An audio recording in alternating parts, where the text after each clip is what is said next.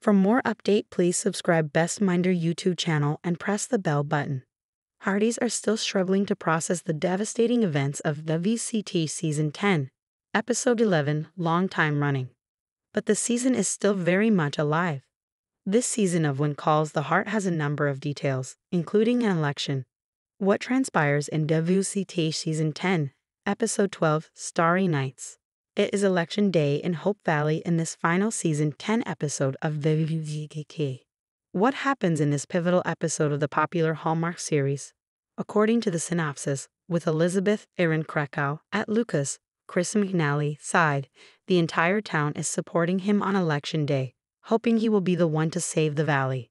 Meanwhile, Rosemary Hutton and Lee Smith discuss who should be their baby's godfather. In the WCTA Starry Nights sneak peek video, Rosemary Pascale Hutton decides to take matters into her own hands. It starts with Mike Hickam, Ben Rosenbaum, coming in to see Elizabeth and Rosemary. There is one more hour left of voting, and he congratulates Rosemary on her great success. He particularly points out the voting booths. Then he says something that ruffles Rosemary's feathers.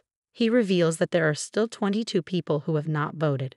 Rosemary reminds the two that Governor Belfour, Mark Brandon, won by less than a thousand votes.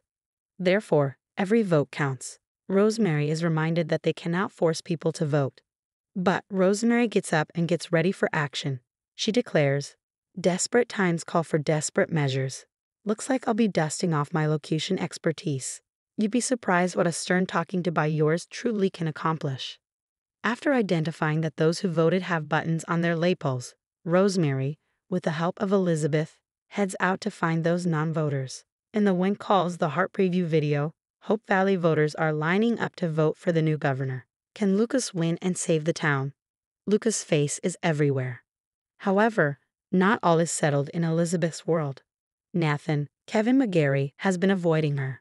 Finally, the two meet. It looks like Elizabeth forgot to cast her vote and is finally doing so. But do they have anything to say to each other? Lastly, Starry Nights will drop on Hallmark Movies now on Thursday, October 19. Since all 10 seasons will be on this platform, Hearties can re-watch from the beginning of the season or the series. Thanks for watching this video and please subscribe our Best Minder YouTube channel for more update news.